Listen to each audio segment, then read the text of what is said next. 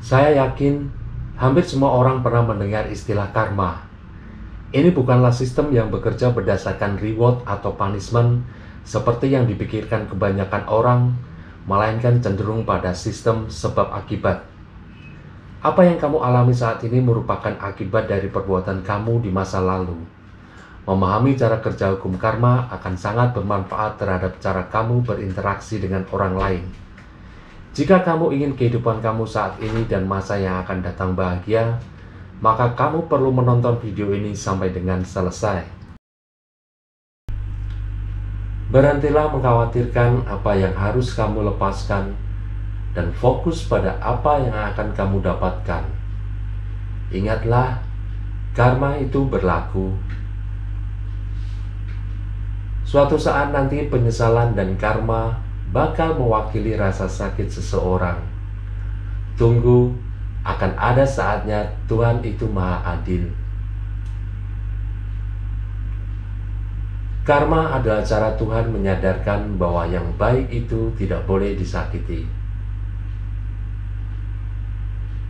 Karma itu pasti ada, walaupun datangnya tidak saat itu juga Seperti yang dia tanam, itulah yang dia panen. Begitulah cara kerja karma. Karma tidak pernah berjalan sendiri, ia selalu di belakangmu, menunggu waktu yang tepat untuk menyadarkanmu. Kita harus menyadari bahwa semua hal akan berhubungan satu dengan yang lainnya. Sadarkah kita karma itu ada?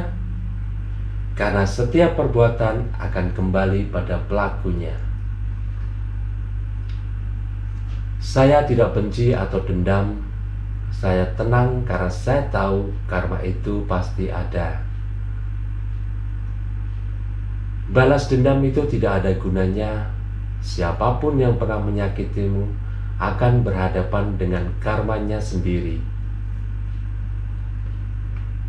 bahwa benda itu adalah satu rantai, satu karma yang merantai hidup kita, hidup sengsara ini. Dirimu bisa bersembunyi dari kesalahan yang kamu perbuat, namun tidak dari penyesalanmu. Kamu bisa saja bermain dengan dramamu, tapi tidak dengan karmamu. Karma selalu berlaku bagi mereka yang tidak percaya akan apa yang mereka buat. Maka hal itu juga yang akan mereka dapatkan. Jangan pernah mengecewakan orang yang menyayangimu, karena bisa jadi suatu waktu nanti kamu yang akan dikecewakan orang lain.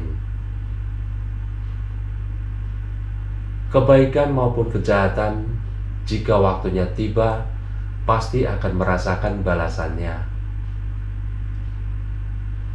Siapa yang menggali lubang, maka dia harus bersiap untuk jatuh ke dalamnya. Ingatlah, karma itu ada.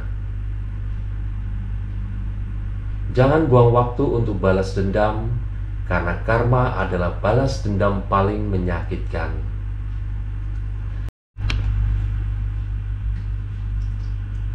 Bagaimana orang memperlakukan Anda adalah karma mereka. Bagaimana reaksimu itu adalah milikmu. Jangan tinggalkan orang yang kamu sayangi demi orang yang kamu suka, karena karma itu pasti ada. Berbuatlah sesukamu, karena sesungguhnya kamu akan diberi balasan karenanya. Terkadang kita harus ikhlas membiarkan karma mengambil alih. Karma tidak memiliki menu, kamu akan mendapatkan layanannya dari apa yang seharusnya layak kamu dapatkan. Karma itu seperti hujan, kita tidak akan pernah tahu kapan datangnya. Sekali datang akan membasahi hati dan penyesalan. Kamu boleh saja tersenyum di balik penderitaan orang lain, tapi yang perlu diingat adalah bahwa karma itu berlaku. Orang yang menciptakan dramanya sendiri layak mendapatkan karmanya sendiri. Orang yang menyakitimu adalah orang yang siap menerima kesakitan yang jauh lebih besar dari kesakitanmu pada suatu hari nanti. Kamu harus memiliki keyakinan terhadap sesuatu, keinginan, dan takdir, apa pun itu. Saya yakin bahwa karma itu tidak pernah salah sasaran. Dia akan mengenai dan selalu datang pada orang yang tepat. Bila kamu siap menyakiti seseorang, maka kamu juga harus siap untuk disakiti seseorang. Jika dalam cinta kamu mainkan sebuah drama, maka kelak kamu harus siap untuk menjadi pemeran utama yang dimainkan oleh karma.